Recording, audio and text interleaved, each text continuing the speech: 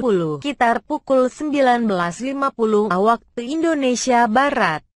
Gus Kamil, sapaan akrabnya, disebut sempat berstatus sebagai pasien dalam pengawasan PDP COVID-19 atau virus corona.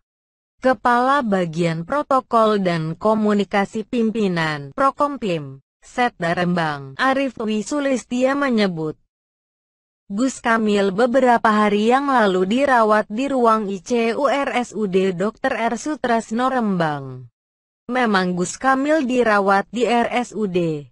Sebelumnya statusnya yang saya tahu PDP, ujar Arif kepada Detikkom melalui pesan WhatsApp Minggu, tanggal 12 Juli tahun 2020.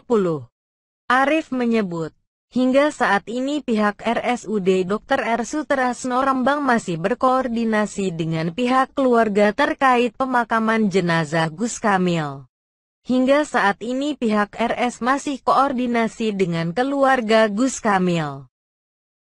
Terkait teknis pemakaman, kalau memang malam ini siap malam ini juga dimakamkan imbuhnya. Majid Kamil MZ merupakan Ketua DPRD Kabupaten Rembang. Juga menjabat sebagai Ketua DPC Partai Persatuan Pembangunan PPP Kabupaten Rembang. Gus Kamil merupakan putra ketiga dari mendiang Kiai Haji Maimoen Zubair atau yang akrab disapa Mbah Moen. Dan kakak dari Wakil Gubernur Jawa Tengah, Taj Yasin Maimoen. Ia pun saat ini juga menjadi salah satu pengasuh pondok pesantren Al-Anwar Sarang. Sebelumnya, kabar meninggalnya Gus Kamil dibenarkan oleh Wakil Bupati Rembang, Bayu Andrianto. Ia mengaku telah mendapatkan kabar secara langsung dari Direktur RSUD Rembang, Agus Setio Hadi.